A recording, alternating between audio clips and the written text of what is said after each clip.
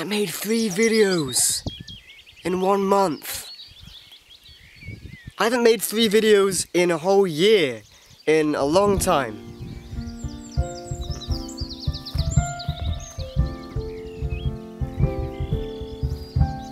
Hello? Um, whoa, echo. Hello? Hello? There's a huge echo coming from over there. I'm probably heard by the whole neighborhood, which is about three people. Hello, how are you? You okay? I'm not gonna stand here and just complain about all of the weird times we're in and the strange ways we're all being affected by it. By the way, if you're watching this in the future, it's currently May of 2020. Yeah, remember that? Yeah, that's now. And we're all being affected in different ways, you know. Like I'm living in a house with other human beings, so I guess I've got that. But yeah, I, guess I feel quite lonely. I'm sure everyone else is in the same boat, and that's why there's no point in um, complaining about it. But I don't know. Everyone's got their own shit to deal with at the moment.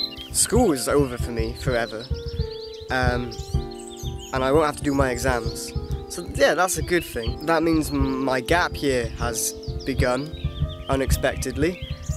And I'm grateful for this time where I can't do anything because I've realized how much I don't want to live like this in the next year where I won't have anything that I have to do. Blah, blah, blah. This isn't even what I was going to talk about. Yeah, I made I made three videos and you liked them, which was nice. Um, Pilgrim's Tail and This Is My Swamp.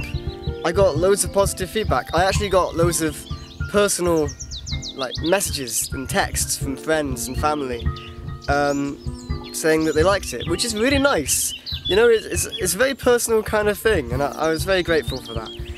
Um, that said, you know, comments do help out with the algorithm if you want people to, if you want other people to see the videos. Um, Pilgrim's Tail sort of came from, I, I was just listening to, like, Irish folk songs that were really just lovely. They're, they're comical and they're poetic, and the way they tell a story I just really enjoyed. And I thought, oh, right, what if I do this?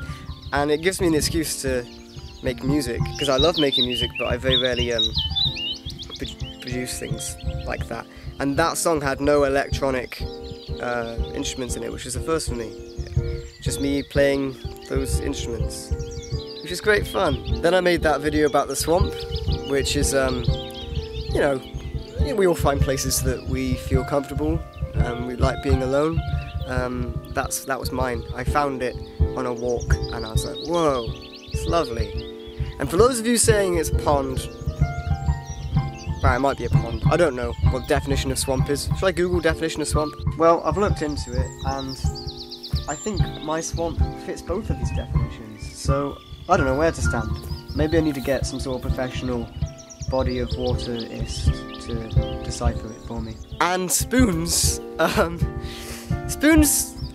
I don't know if you find um, this kind of talk interesting, but I quite like talking about the creative process because it gives the um, outcome more resonance. I don't know. I always find that when I listen to other people talk about where their stuff comes from, it, it feels more sort of special. And Spoons is a special one for me because I made it for me, and if anyone else liked it, that would just be a bonus. Which is a, a new healthy attitude to creating things. Spoons came from, uh, I was just playing piano in my room, looking out the window, and I was playing this little tune, the one you hear in, the beginning of the film. Film.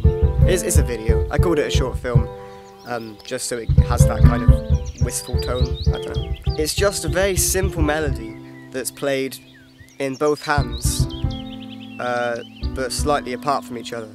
It's um, a third down. Anyway, just the the fact that the melody was um, it, they were both playing the same melody but slightly apart, but together. It kind of just felt like a really close friendship where there's a mutual understanding that doesn't need to be expressed like verbally. I don't know. So then I wrote a short little screenplay based on that about two um, two stuffed animals originally.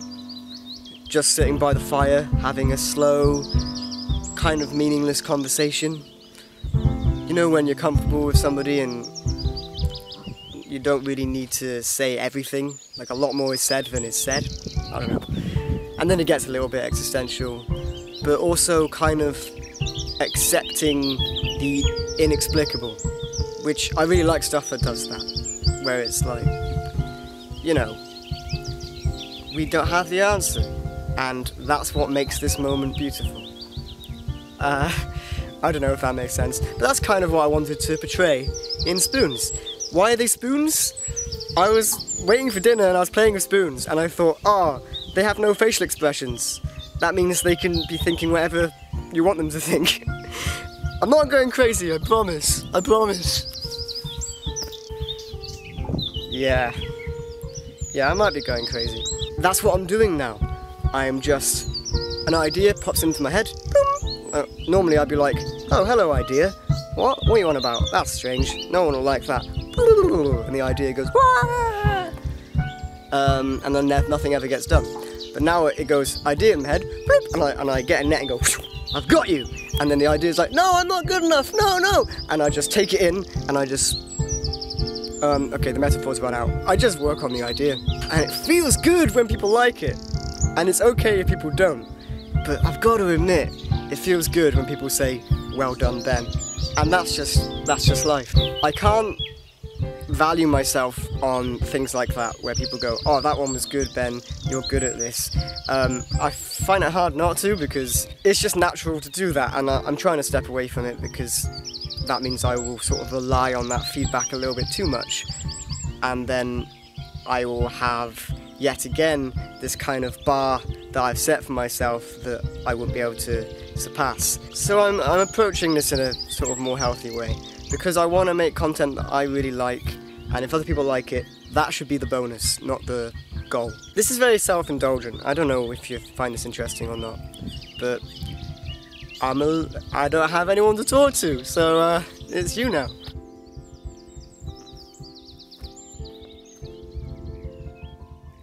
I started watching some of my old videos, like a few years old, and I realized that I've incidentally created an entire time capsule of my life. Even though I'm, I've made very little, like from age 11 until age 17, that that's a huge amount of growth.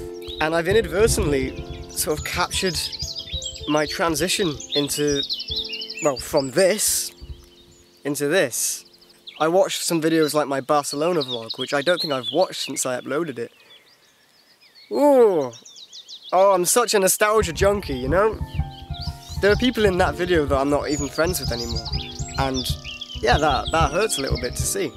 I've been making videos for a very long time. Not all of you will know that because a lot of you will be more recent. This YouTube channel is very special to me. I guess that's because it has captured me in all different kind of forms and I didn't think that's what I was doing but I think that's what I was doing. You know in, in those videos I don't explicitly talk about my life outside of the videos but there are little snippets that I'd be like oh that's what that's where I was at that time that's how I was feeling I was so much less insecure when I was 14 and I'd forgotten about that. That was nice. I know I know this video is a little bit me, myself, and I. But um, we all must be a bit like that now because we we just are with ourselves, and we either have a chance to learn all about ourselves or become repulsed and terrified by ourselves. I've experienced all three, I think. Just because if you're in your own head all the time, you see the best and the worst of yourself. You don't notice yourself changing until you are face to face with what you used to be.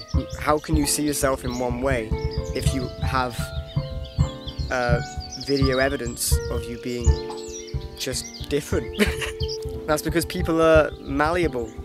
We're not just one thing. That's nice to know. I suppose. There are, there are parts of our character that might be intrinsic to our identity. I watched video I watched my old videos and